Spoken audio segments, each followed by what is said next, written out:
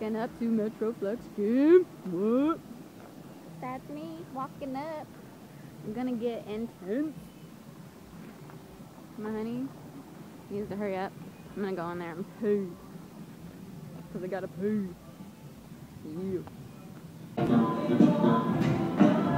Oh man, pre-workout kicked in. I'm shaking. Okay guys, so I put this in slow motion for you so that you can get a good look at the gym. Um, I was early, so there weren't a whole lot of people here at this point, um, or there wasn't. And uh, everything's pretty close together. They packed it full. A lot of old machines, but there are a few new machines as well. And um, as you can tell, I was pretty excited to be there. It was a great environment, very um, encouraging, you know, to have a good workout and everything. Um, and everybody's there to work. People don't uh, go to places like this to, you know, do a half-assed workout. Um, as I said earlier, I had to go to the bathroom, so here's the glimpse of the bathroom. Um, lots of, you know, inspiring pictures. It was pretty dirty, but um, lots of pros up there, old school pros, but very uh, motivational. So really cool uh, place to work out. And we weren't able to work out right away, so um, there was a lot of waiting around, and um, this was right by the door, so I decided to get up on it.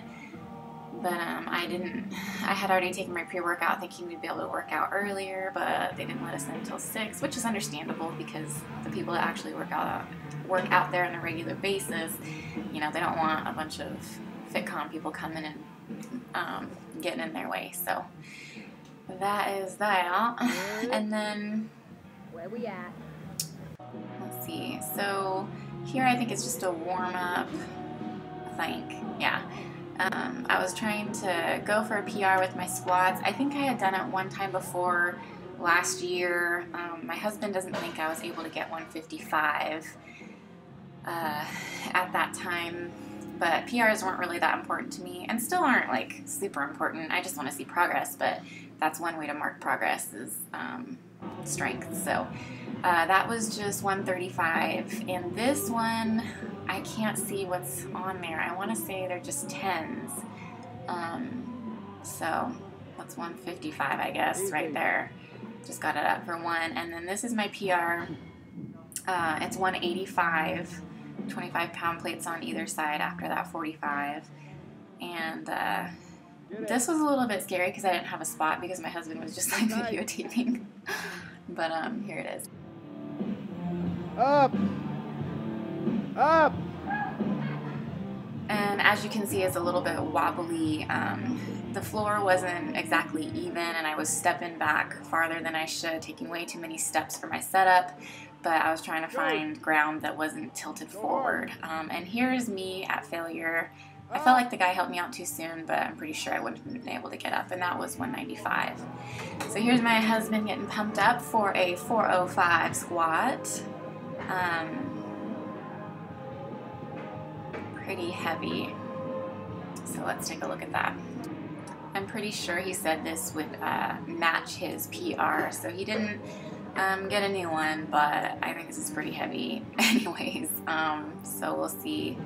Uh, he has some goals by, uh, I don't know if it's this December or next December, but he's going to be working on um, getting stronger, so that'll be fun to watch.